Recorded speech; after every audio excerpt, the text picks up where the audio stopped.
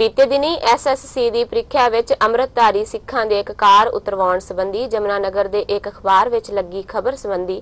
ਕਰਨਾਲ ਵਿੱਚ ਮੁੱਖ ਪਾਰਲੀਮਾਨੀ ਸਕੱਤਰ ਬਖਸ਼ੀਸ਼ ਸਿੰਘ ਵਿਰਕ ਨੇ ਕਿਹਾ ਹੈ ਕਿ ਅਜਿਹੀਆਂ ਖਬਰਾਂ ਬੇਬੁਨਿਆਦ ਨੇ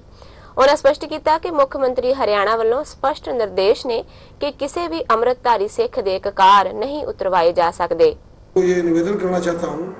कि हमें इस बात का ज़्यादा प्रचार प्रसार ना करें ये बेबुनियाद बात है और मैं उस खबर का खंडन भी करता हूँ कि जो यमुनानगर से ये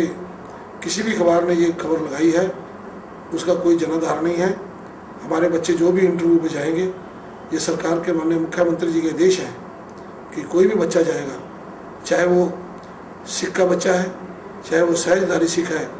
जो अमृतधारी है, वो अपना कड़ा और अपनी छोटी कृपान जो है अंदर ले जा सकता है। इस बात की कोई पाबंदी नहीं है। अगर किसी अधिकारी ने इसमें कोई कोताही बरती तो उसके खिलाफ तुरंत प्रभाव से कार्य